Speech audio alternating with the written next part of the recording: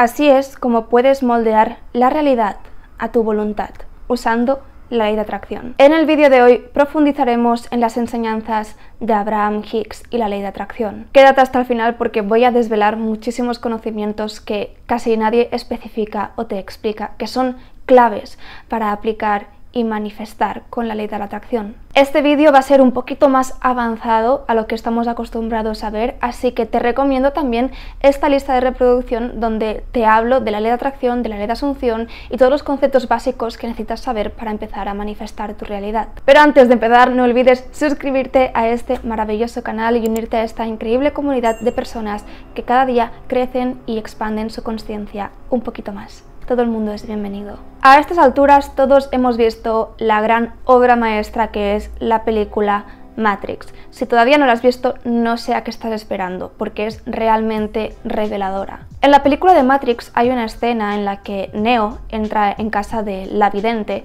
y se encuentra a un niño que está doblando una cuchara con su mente. Y cuando Neo le pregunta cómo dobla esa cuchara con su mente, ese niño le contesta, ¿es la cuchara lo que se está doblando o es la realidad lo que doblas con tu mente? Nuestras manifestaciones son como una especie de escultura de barro que vamos moldeando a nuestra manera, añadiendo materia, quitando materia, buscando nuevas formas. Lo que ocurre en la mayoría de casos es que lo hacemos de forma inconsciente. No somos conscientes de que somos este artista creador que a través de su imaginación, sus pensamientos, sus emociones, sus acciones, sus creencias, está moldeando y está creando esta obra maestra de arcilla o de barro. Y entender la ley de atracción o la manifestación en general significa hacernos conscientes de que somos ese artista creador, de que nuestra realidad se conforma con cada palabra que verbalizamos, con cada paso que damos, con cada pensamiento o emoción que despierta en nosotros. Pero aquí está uno de los grandísimos malentendidos, y es que cuando entendemos este concepto solemos pensar que, oh, entonces yo controlo mi mundo, yo controlo mi realidad, sin darnos cuenta de que el control no es más que una ilusión, una ilusión de nuestra mente egoica, de nuestro ego, que nos genera resistencias porque pensamos que las cosas deberían ser de una manera y como a veces no son de esa manera que queremos, entonces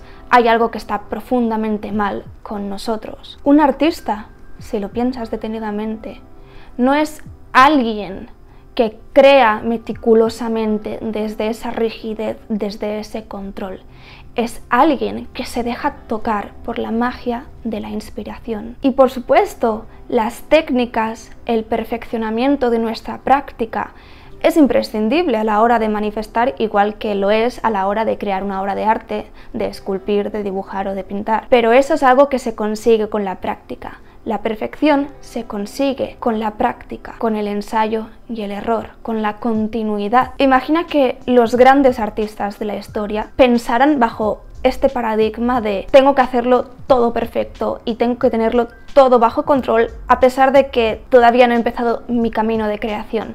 Y a la primera que intentan crear una obra y no sale perfecto o bajo ese control, se rinden y dicen, pues no estoy hecho para ser artista. ¿Verdad que eso no tiene sentido? Lo mismo sucede cuando empezamos nuestro camino de manifestación. Cuanto más soltamos el control y nos permitimos disfrutar de la experiencia de aprender, de recordar nuestra esencia creadora, creativa, inspiradora, entonces es cuando podemos con el tiempo empezar a fluir y empezar a manifestar con más facilidad. Déjame en los comentarios, yo no persigo, atraigo. Como ya te expliqué en este vídeo de aquí, yo logré manifestar el apartamento en el que estoy, que es justamente lo que estaba buscando, tan solo meditando y en cuestión de tres días. Pero claro, para llegar a este punto he tenido que practicar muchísimo y tuve que empezar primero manifestando cosas pequeñas y progresivamente ir expandiéndome más y más en mi práctica. Y cuando empecé en este camino, hace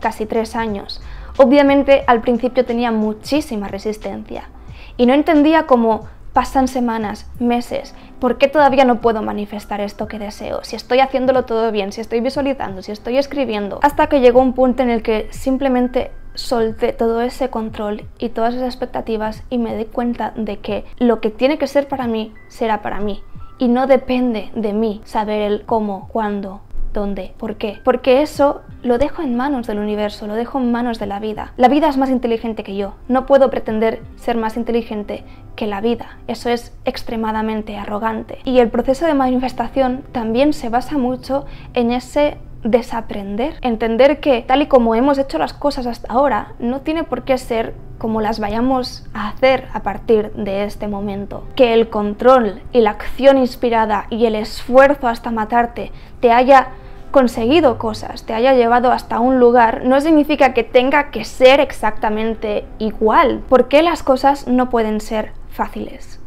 ¿Por qué las cosas no pueden fluir? ¿Por qué las cosas no pueden solamente ocurrir por el simple hecho de alinearte y ya? Que tu único trabajo es alinearte y seguir el camino de aquello que se siente bien y encarar la vida desde este baile, desde este movimiento energético y no tanto desde la lucha y desde la guerra y desde la pelea. Algo muy importante se transformó en mi interior el día en que hace un par de años me di cuenta, o al menos tomé conciencia de que mi lucha ya se había terminado. Llevo toda mi vida luchando.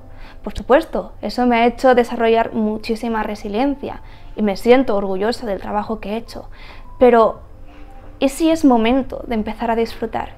¿Y si es momento de soltar? ¿Y si es el momento de caminar de forma más ligera por la vida? ¿Y si es el momento de simplemente ser feliz y dejar que el universo responda a esa vibración de felicidad que yo estoy emanando, que decido emanar a partir de ahora. Y me da absolutamente igual lo inadecuado que la sociedad piense que es esto, o que mis familiares o amigos consideren que estoy actuando teniendo una mentalidad poco realista, porque al fin y al cabo, ¿qué es la realidad? Si tú decides pensar que la realidad es esta lucha por la supervivencia, adelante, absolutamente nadie te lo impide, tienes ese libre albedrío de decidir cómo moldear la realidad a tu manera. Pero yo decido escoger otro camino, yo decido moldear mi vida desde otro lugar. Decido dejar de perseguir, dejar de embarcarme en estas búsquedas y simplemente convertirme en ese pilar de luz, en ese pilar vibratorio,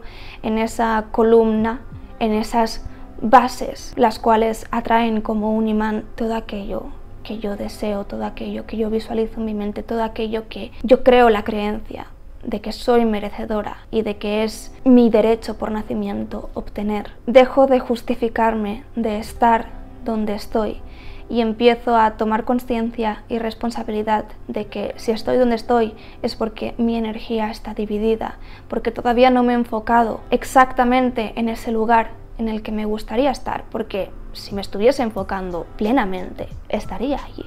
Y esa es mi única responsabilidad, enfocarme, no controlar cómo va a suceder o cómo voy a llegar hasta ahí. Mi única responsabilidad y deber es focalizarme en el qué. ¿Y el qué? Soy yo.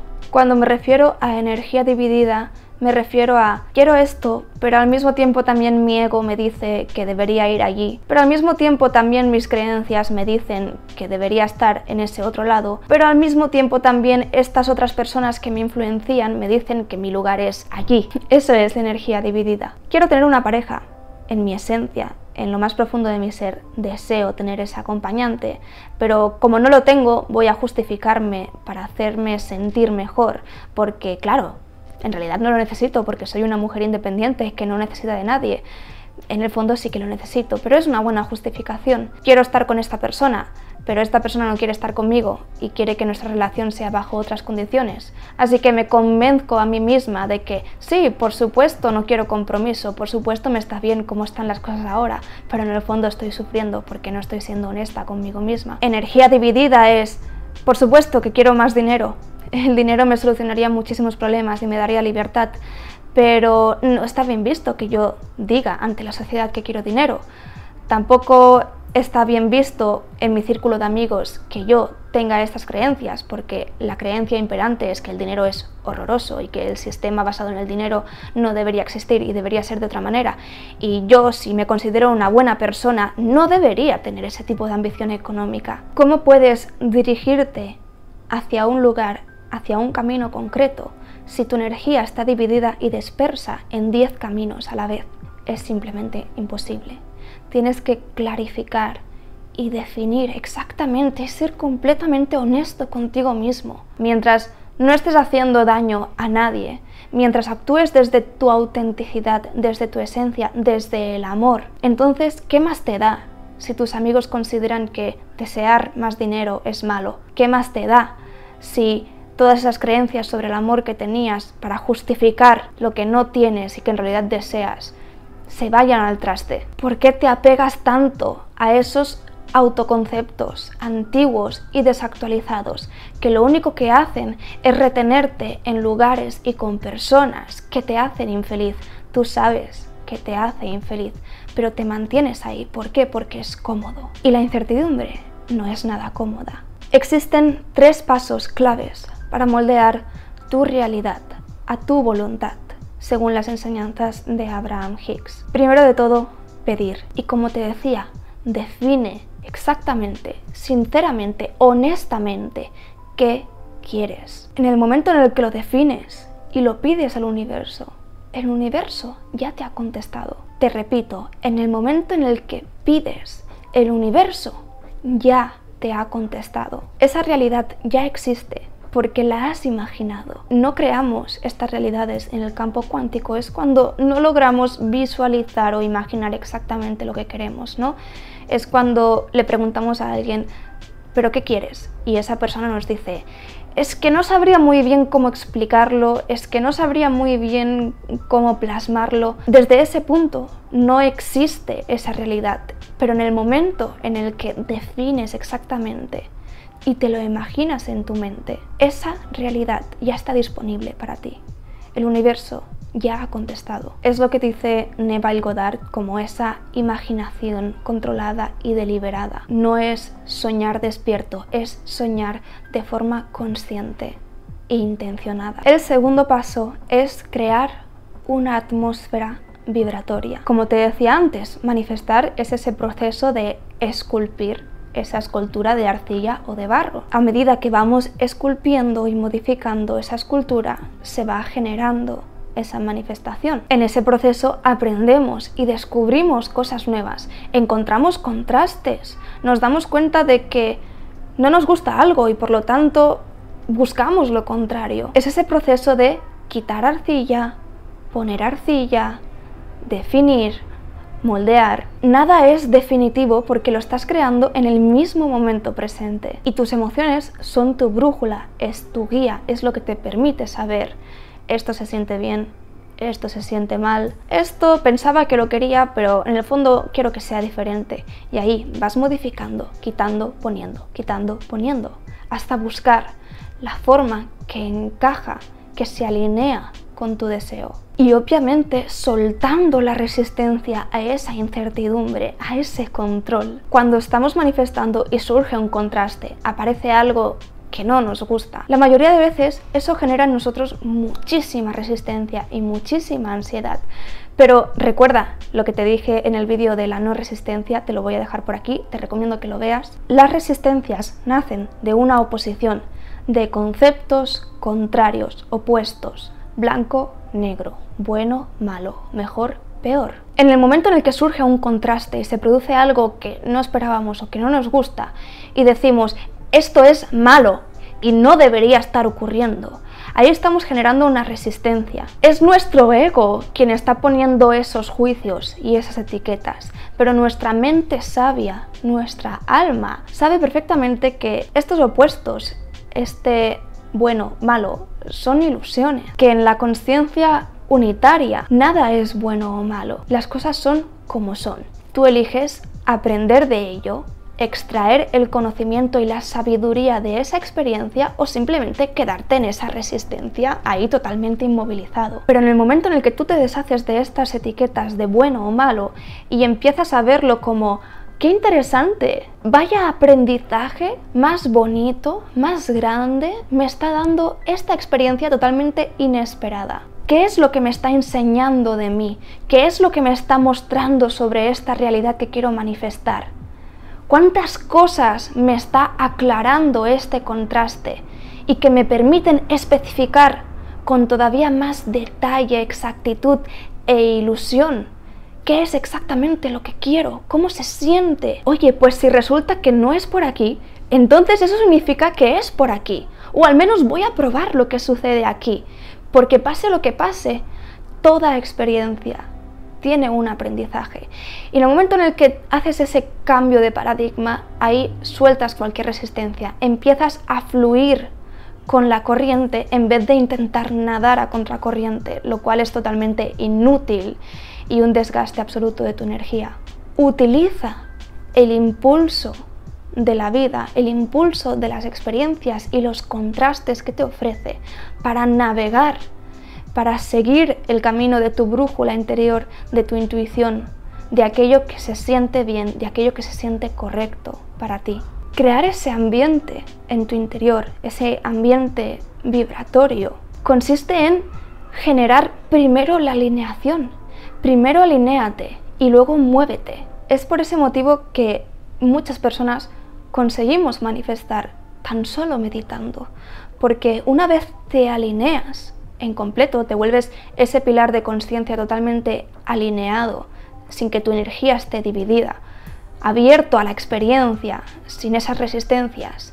En ese momento, la acción que tomas a consecuencia de esto es prácticamente mínima. Y es que el error que cometen muchas personas con la ley de atracción es que buscan primero manifestar y luego alinearse. Y es todo lo contrario. Primero es la alineación y a continuación la manifestación. No esperes a conseguir lo que deseas para ser feliz y alinearte con la felicidad. No esperes tener a la pareja para sentir amor, vivir desde el amor y entonces alinearte. No esperes a tener abundancia para sentirte abundante, para agradecer la abundancia en tu vida y entonces alinearte. Primero alineate y a continuación se produce la manifestación. Esto Abraham Hicks pone un ejemplo muy gracioso y muy bueno y dice que buscar la manifestación antes que la alineación es como pasar una aspiradora por tu casa sin ni siquiera enchufarla a la corriente. Primero enchúfala a la corriente y luego aspira la casa. Es el procedimiento lógico. Por supuesto que puedes pasar la aspiradora sin enchufarla. Puedes hacerlo 20 veces si quieres. Nadie te lo prohíbe. Pero luego, cuando veas que no estás limpiando absolutamente nada, quizá te puedes dar cuenta de que hay algo que deberías haber hecho antes. El tercer paso es hacerte consciente de las evidencias de la manifestación. Y las evidencias de la manifestación, a diferencia de lo que mucha gente piensa, no es evidencias de la cosa en sí, ya sea material o una persona, una pareja o un trabajo. No, la mayor evidencia de tu manifestación es tu emoción. Cuando te empiezas a sentir agradecido, alegre, feliz, enamorado, cuando ni siquiera está esa manifestación tangible, material, pero tú ya la sientes como si estuviera ahí. Esa es la mayor, la mayor evidencia de que tu manifestación ya está cumplida. Cuando empiezas a sentirte exactamente como te sentirías, como si ya lo tuvieras, no importa si está o no, si tarda más o menos. Otra evidencia de que tu manifestación ya está cumplida es que empiezan a surgir ideas solas, empiezan a aparecer en tu mente como caídas del cielo. El ojo de tu mente, el tercer ojo, se activa y empiezas a tener esta inspiración casi divina que te dice, debería empezar este proyecto, debería ir a este sitio, debería contactar con esta persona. Como te decía, el ambiente vibratorio tu alineación crea la manifestación, crea esa acción inspirada. No es que mágicamente tú de golpe sepas que debes estar en este lugar con esta persona en este momento, sino que de forma orgánica, de forma natural, estás donde debes estar, hablando con la persona con la que debes estar hablando y en el momento en el que debías estar. Las acciones forzadas siempre van contra las resistencias que hemos creado. Te lo repito, las acciones forzadas siempre van contra las resistencias que hemos creado. Cuando tú no tienes resistencias, no tienes que forzar ninguna acción. Tu ambiente vibracional crea la acción inspirada y esa acción inspirada te conduce a tu manifestación. En vez de vibrar desde el control, desde la desesperación, desde la incertidumbre, desde la necesidad de actuar y de forzar esa acción, simplemente tómate tu tiempo para alinearte, para meditar, para caminar. Yo personalmente no conozco una forma más eficaz de liberarte de tus resistencias que no sea la meditación porque la meditación te permite sentarte y observar tus pensamientos y darte cuenta de que el 99% de los pensamientos que tienes son automáticos, no son presentes, son de experiencias pasadas, son de patrones y de creencias que ni siquiera tienen lugar en la alineación, en la realidad en la que te estás intentando alinear. Y el simple hecho de darte cuenta de que esos pensamientos no son reales no solamente que no son reales, sino es que además son inútiles, ya automáticamente hace que te liberes de ellos, que sueltes esa resistencia, que dejes el timón de tu vida en manos del universo, que desde luego es mucho más sabio que tú y sabe mucho mejor sobre tu proceso, tus aprendizajes y tus propósitos que tú, y simplemente te centres en conocer hacia dónde se dirige tu brújula interior cuál es el camino de aquello que se siente bien para ti, que se siente auténtico, genuinamente auténtico, que descubras qué es exactamente lo que quieres, hacia dónde te diriges. Deja de nadar sin rumbo. Escucha tu brújula interior. Define qué quieres hacer con tu vida y alinéate con esa imagen mental Suelta todas las creencias y todas las resistencias que te dicen que no es posible o que no es lo correcto o que la sociedad no quiere que hagas esto. Suéltalo.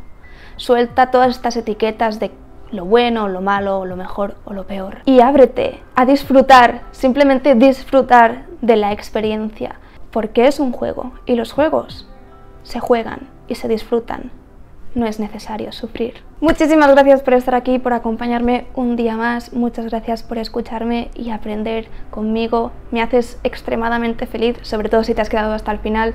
Recuerda que te quiero muchísimo y nos vemos muy pronto. Chao, chao.